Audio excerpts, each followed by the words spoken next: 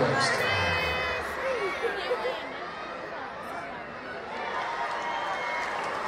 All right, it's time to do a little bit of racing. Down to the field we go. Mr. Noah Bridges, take it away. What's up, Banana Land?